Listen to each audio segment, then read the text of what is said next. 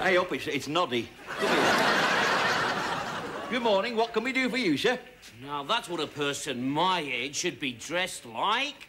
Not like this. Dressed? You call that dressed? I put more than that on to go- go to bed in. Good morning. Can we help you in any way, or is it uh, too late? Razor sharp responses, you, know, you notice, Granville. Still, we shouldn't uh, mock the afflicted, should we? Pity about his eyesight. Nothing the matter with his eyesight. He's wearing shades because he's cool.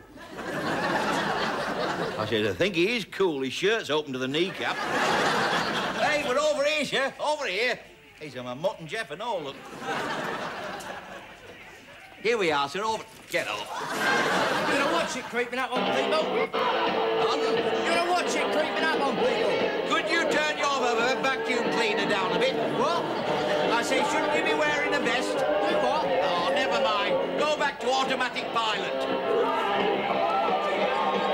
Oh, thank God they've gone. Shouldn't he be wearing a vest? Huh? Vests are out, man. Well, yours is. I can see it from here. Took it in. Let me handle this. I wish, I wish you would. Go, go. Right. Hi. Something we can do for you, man?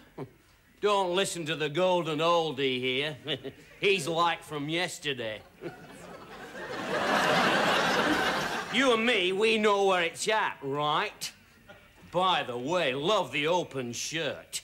That's very me, that, the open shirt, you know. As soon as I get out of this working clobber, I'm straight into the open shirt. I'm well known round here for it. Well, I'm, uh, you know, I'm famous in the chest.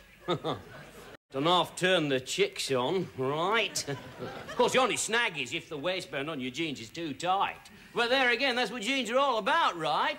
I mean, if your jeans aren't tight enough, well, you might as well be dead, right? Can you repeat all that? I couldn't hear you for the sands, man.